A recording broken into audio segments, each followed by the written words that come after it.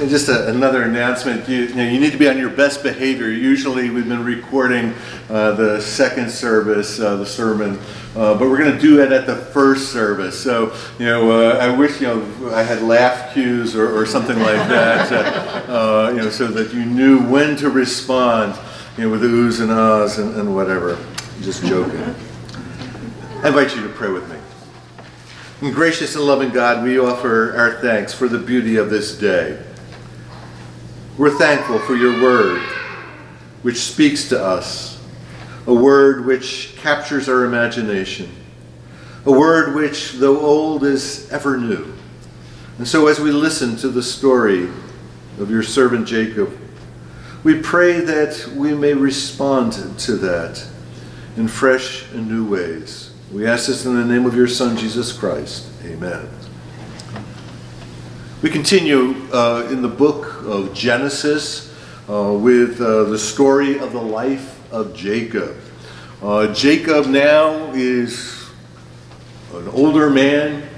Uh, he has uh, made his, his mark in life. He's married twice and has 11 children. Many, many animals, and he is about to return to his home. Uh, and uh, you know, at home, you know, what, one of the things that he is anticipating is his brother Esau. Esau, you will recall, is the one whom you know, he cheated out of his birthright, uh, and uh, Esau is still angry with Jacob. Listen for God's word. The same night, Jacob got up and took his two wives, his two maids, and his eleven children, and crossed the ford of the Jabbok. He took them and sent, and sent them across the stream, and likewise everything that he had. Jacob was left alone.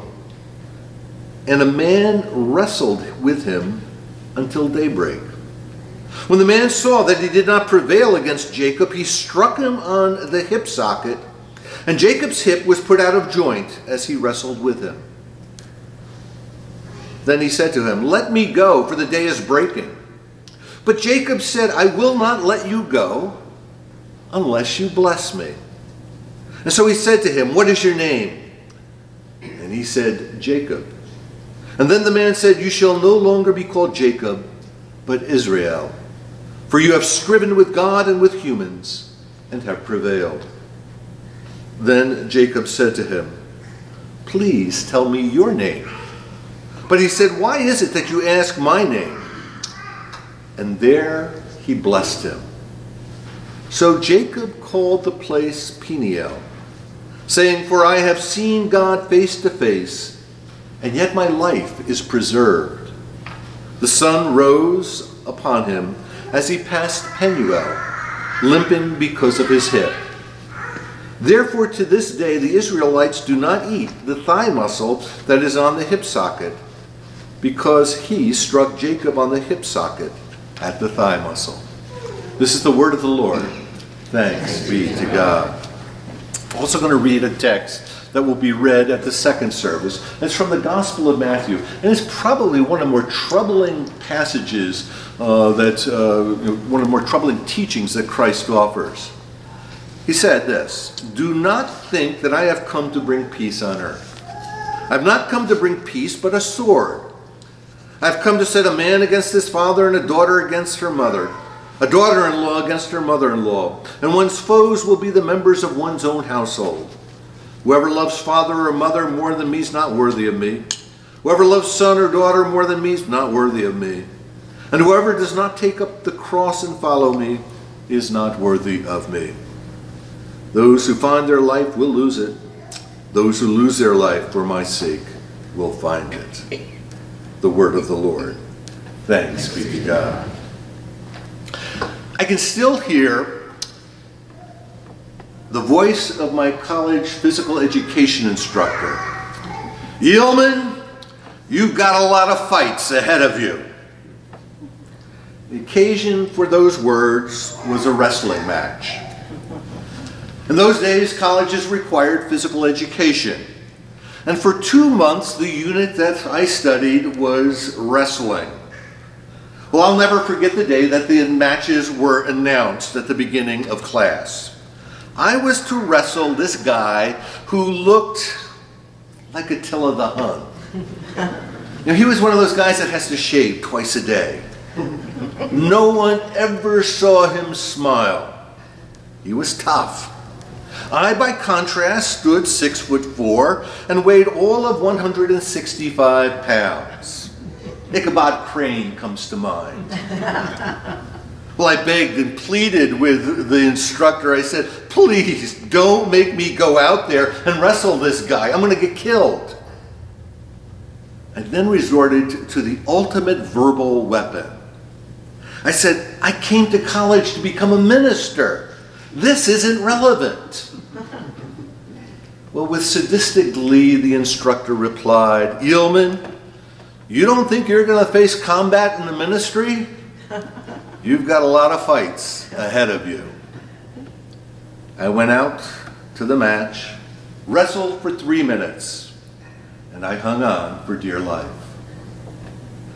I did not win, but I can also say my shoulders never touched the mat. It has been over 45 years since that day, but his words are still vivid in my mind because he was right. There have been many wrestling matches in my life, and they make my opponent that day seem quite benign. The matches I have faced have been the gut wrenching decisions, the problematic issues, and larger than life opponents. And these are the big wrestling matches in our lives.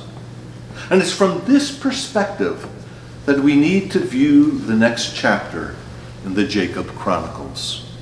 You see, when Jesus, you know, he uttered those troubling words, I've not come to bring peace, but a sword, I was, I think he was speaking about this type of an encounter. And so today I want to look at this sword that entered Jacob's life that night. First by telling the story in an interpretive manner, and then I want to draw some conclusions for our day and age.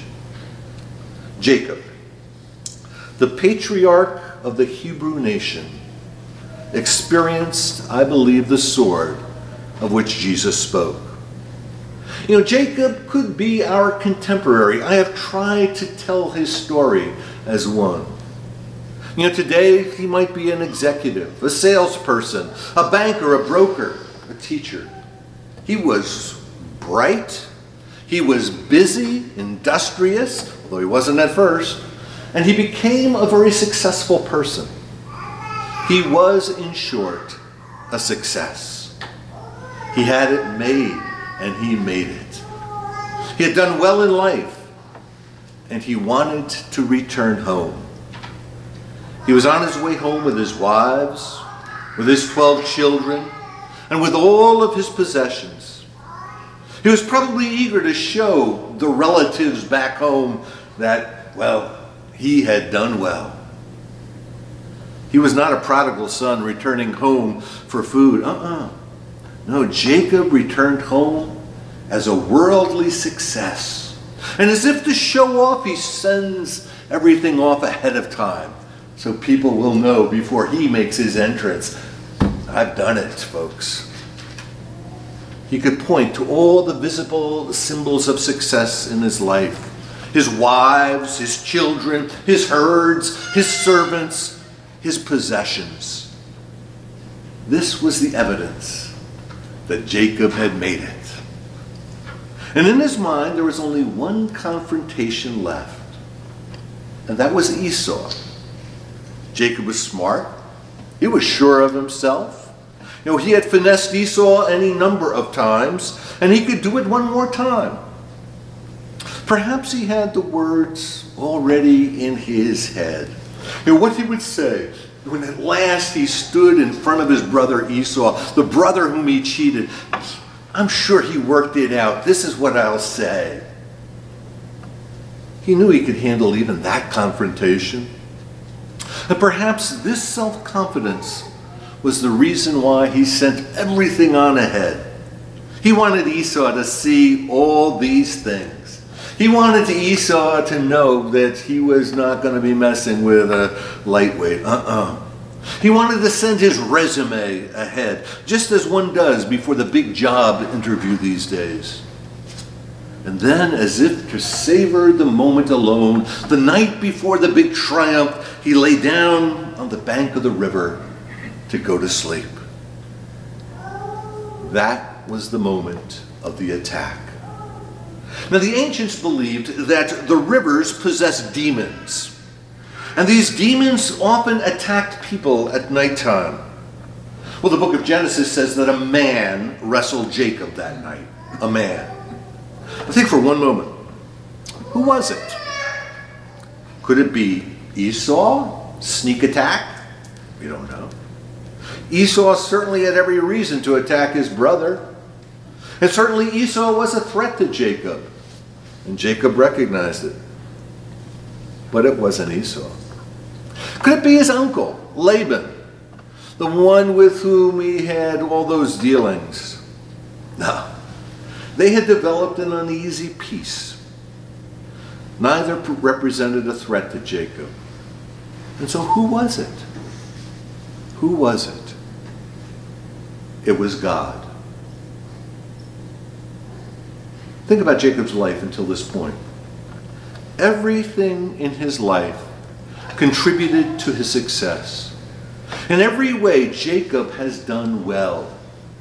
He has matured, he even grew spiritually. But there was one confrontation left. Not Esau, uh uh He had to face the truth of himself. His wits and his intellect had held him in good stead, but now he faced the reality of who he was and what he was. Not in the presence of others. No. He would have to do this in the presence of God. This is the wrestling match. Indeed, this is the struggle. It's the same struggle that Jesus brings to our lives when he says, I've not come to bring peace now, but a sword. It is a disquieting struggle that requires us, you and me, to to deal with the reality of who we are and what we are to be. You know, Jacob has vanquished every earthly foe. He has wrestled with all the people in his life, and he has come out on top. But the stranger by the shore of the river did not allow him to win that night.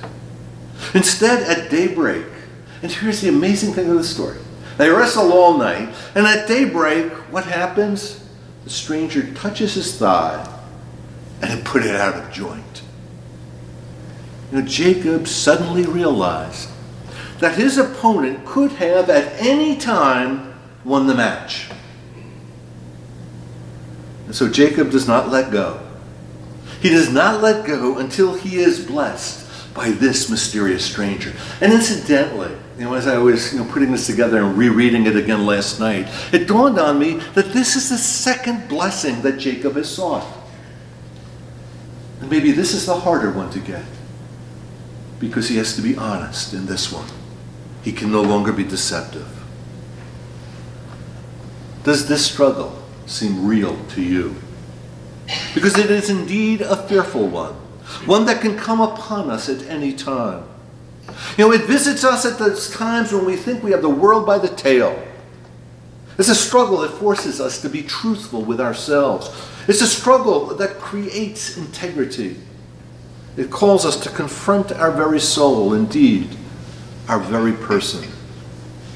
And it's then, it's then that we see ourselves unmasked before the throne of the Almighty. The struggle can occur at any time. Indeed, it literally mugs us.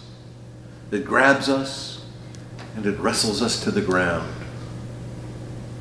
read the lives of the great women and men of history, the saints, if you will. Martin Luther struggled with the meaning of grace and forgiveness. He literally struggled with it. If you go you know, and see the castle, you'll see the ink blot on the wall where he threw a bottle of ink.